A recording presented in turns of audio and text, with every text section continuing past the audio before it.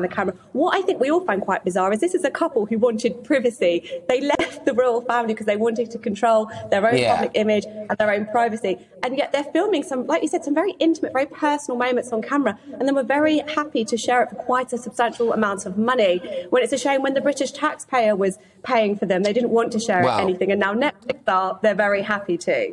Well, and there we do have a point of agreement, I will say. Yes, 100% on that one. But presumably they wouldn't want to come to the King's coronation anyway, would they? Because if this is a royal family that has got institutional racism at its heart and represents a, you know, racist slave-based commonwealth or whatever the next line's going to be, well, presumably they won't want to be a part of that coronation, would they? They wouldn't want to endorse it.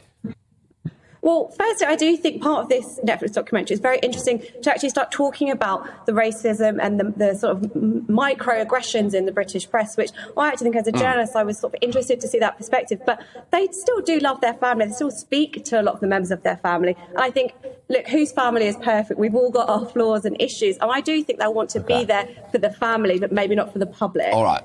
Look, very last question, and I am being a little bit cheeky here, but in your esteemed, in your esteemed experience, you know, in the worlds of showbiz and entertainment, if you're being really honest, if I strap you to a lie detector test now, now, how surprised would you be in two years' time if you're writing reports about the fact they've got divorced?